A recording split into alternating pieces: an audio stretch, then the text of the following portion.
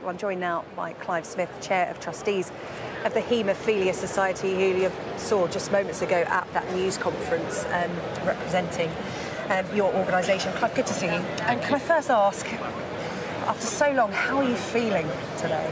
I think one of the overwhelming emotions for so many people today is vindication. Mm. That the community has known for decades what happened and the fact that it shouldn't have happened. And they've had to bang government's door for decades to say, you need to have an inquiry, you need to uncover all this wrongdoing.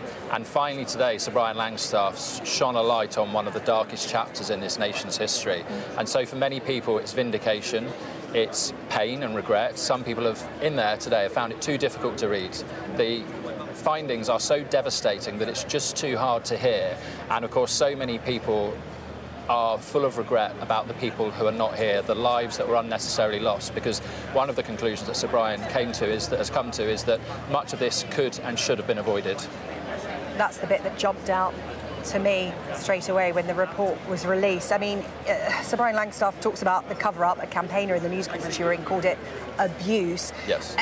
and also the report is damning in saying you were blatantly lied to. Yes. You know, those who came forward were blatantly lied to. I'll just read this bit out. Um, the damage caused has been compounded by the reaction of successive governments, the NHS and the medical profession, to save face and expense. Successive governments refused to admit responsibility, showing little interest in finding the truth, listening to those infected, or taking action.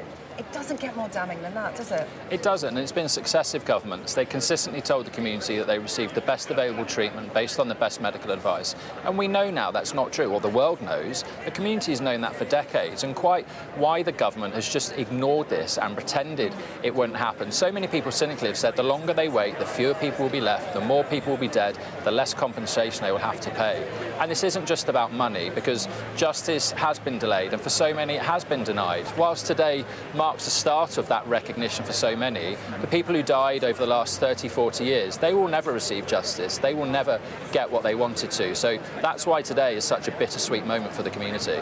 Right, we talk about cynical delays in public inquiries, but look, this report has been delivered. But Sir Brian Langstaff has almost counteracted the next stage because we know when there's a public inquiry, there are recommendations and actions but everything moves at a snail's pace again. We hear that criticism so often after public inquiries. What's Sir Brian Langstaff done to counteract that, to make sure that doesn't happen? Sir Brian's taken absolutely. Sir Brian's taken an unprecedented step by saying this is not my final report to government, to the minister who commissioned the report. He said in 12 months' time, he said I expect the government to present to Parliament a report saying what they've done about my recommendations, saying whether they've implemented them, or explaining why they're not going to do it. Mm. I firmly believe that in the Inquiries Act there should be a presumption that governments implement recommendations from public inquiries. Otherwise, we keep having these scandals, we keep having these burning injustices, and we learn nothing. And sadly, history repeats itself time and time again. Can I just ask personally how you're feeling? Because I've been talking to so many people down here, and it's just such a mixture of emotions. There's relief, there's anger, there's all sorts. How are you feeling personally? Um, it, it's a difficult day for me personally. I lost my good friend Stuart, and whenever I speak about him, I start to get emotional, which I'm trying not to do now. But I'm so proud that I've been able to do, and so many others have been able to do what they have to represent their loved ones and keep their memory alive, and to be able to speak about them finally, and so that people know what they suffered unnecessarily.